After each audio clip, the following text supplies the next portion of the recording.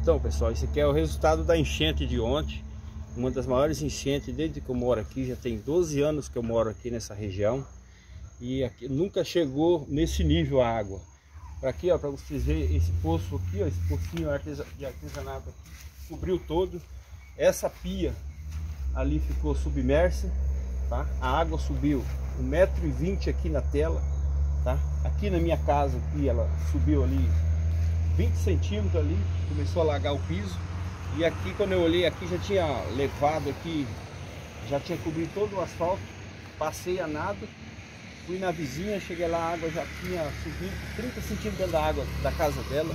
Levantando estofado, geladeira e a, a, a oficina deles, motor, eh, motor de, de oficina, de marcenaria, alagou tudo. Só Deus sabe se vai dar de recuperar.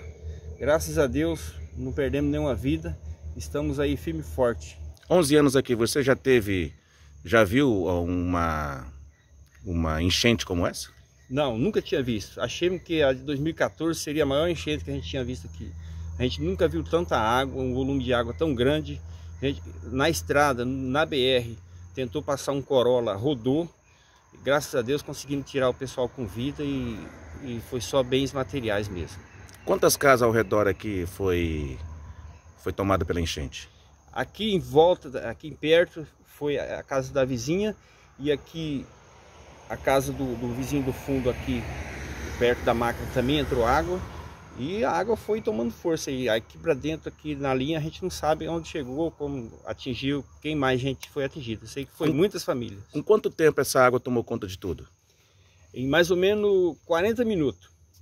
Choveu uma hora, aí me ligaram que tinha estourado três represas aqui para cima, aí a gente ficou em alerta, em 40 minutos isso aqui tomou conta e o rio passava aqui dentro do meu quintal com muita força. Deixando a população tudo apreensiva? Aqui foi complicado, o pessoal ligando, todo mundo oferecendo ajuda e não tinha como chegar aqui. Tudo alagado e o pessoal querendo ajudar e não tinha como chegar. A RO, 0, a RO 481? A 481 ficou alguns pontos aqui na frente chegou a um metro de água. Aqui na frente da minha casa deu 30 centímetros de água. E aí foi tomando conta. Deu mais ou menos um quilômetro de extensão aqui, totalmente alagada a 481. Lembrando que você mora na linha 17, né? Próximo. Eu moro próximo aqui à linha 122. Então, da boca da linha 122 até aqui no, na Cafeira Santa Luzia, foi tomado pelas águas no asfalto.